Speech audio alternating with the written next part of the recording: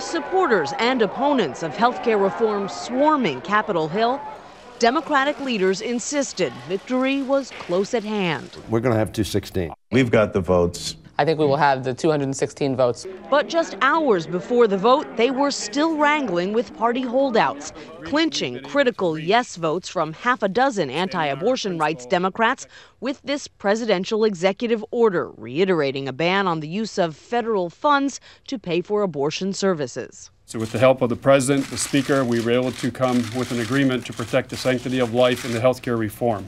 The agreement capped a weekend of wheeling and dealing, which included a personal plea to Democrats from the President of the United States. Don't do it for me. Don't do it for the Democratic Party. Do it for the American people.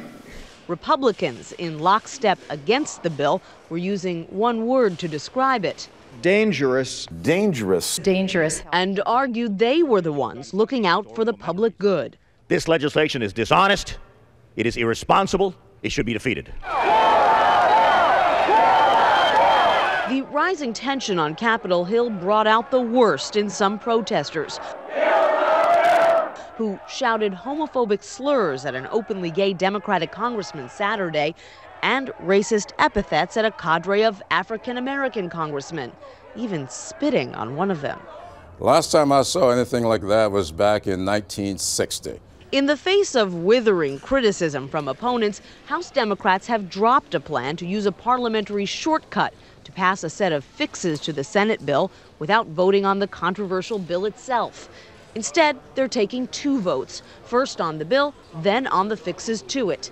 If they succeed, analysts predict Nancy Pelosi will go down as one of the most powerful House speakers of all time. Today, she was toting a rather large good luck charm, the gavel that was used in the enactment of Medicare in 1966. Uh, I will use it this evening when we cast a very successful vote for this important legislation.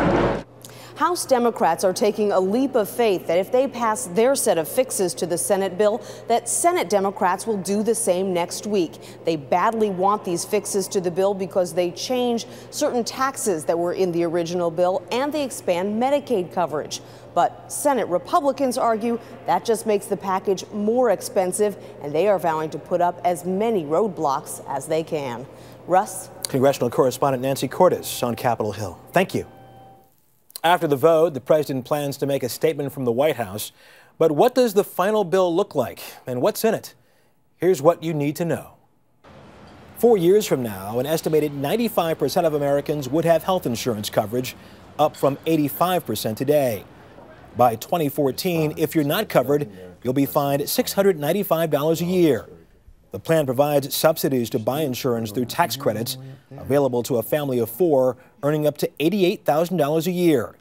Employers are not required to offer coverage, but the government would charge mid to large businesses a $2,000 per worker fee if any worker needed government subsidies to buy insurance.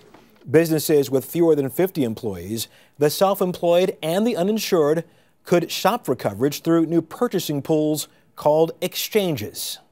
Insurance companies would pay more taxes and be banned from denying coverage due to pre existing conditions or setting dollar limits on benefits paid. They would be required to allow children to stay on their parents' plans until the age of 26. Medicaid for low income people would be expanded, allowing a family of four earning up to $29,000 a year to enroll. And Medicare for those over the age of 65 would receive more money from a 1% Medicare tax increase on individuals earning more than $200,000 a year.